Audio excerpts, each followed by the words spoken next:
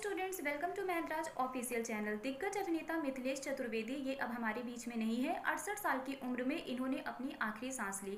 अगर हम मिथिलेश चतुर्वेदी जी की बात करें तो इनका जन्म फिफ्टीन अक्टूबर 1954 में हुआ था।